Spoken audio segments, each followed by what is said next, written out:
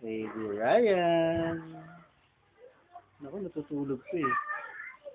Kadedede lang kasi nito eh. Yan.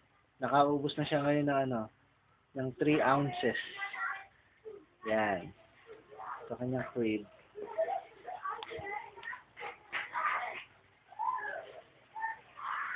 Yan.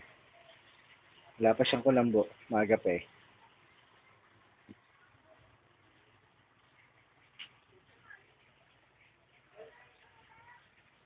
Hmm.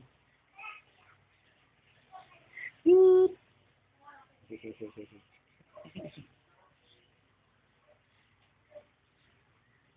Ano kamukha nito? Kit-kit siguro ng kamukha mo. Ay, umingiti oh. Sino kamukha mo?